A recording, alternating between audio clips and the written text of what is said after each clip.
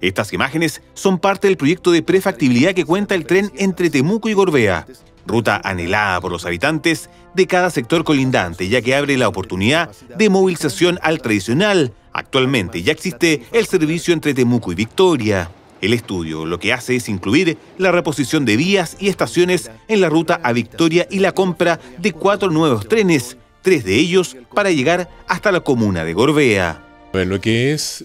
el estudio que la prefactibilidad, esto se terminó ahora, corresponde en este instante conseguir recursos para la ingeniería de detalle, eso va a tomar un año y medio más o menos, de ahí conseguir recursos para construir, ese son un año y medio más, así que pensemos en tres años desde ahora.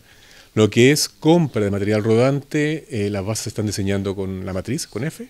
y esperamos de aquí a fin de año llamar, cosa que en dos años plazo la región cuente con, en este caso, tres nuevos trenes para el servicio Victoria Temuco. El costo de ingeniería de detalle se calcula en 4,5 millones de dólares y la reposición de maquinaria y mejoramientos de las vías e instalación de siete nuevas estaciones, entre ellas Quepe, Freire y Pitrufquén, tiene un costo que alcanza los 127 millones de dólares. Además, se implementará costo cero para las personas con discapacidad y se dispondrá el cobro con tarjeta. Hoy día la factibilidad eh, nos da desde el punto de vista técnico para alcanzar hasta Gorbea. Por lo tanto, esperamos en el futuro poder contar con este importante aporte de desarrollo a la región, que es el tren Muchos de nosotros lo hemos esperado, mucha gente también ha confiado que esto traiga desarrollo, que esto traiga progreso, igualdad hacia la región y la posibilidad de conectarnos mejor también y de unirnos detrás de un gran proyecto.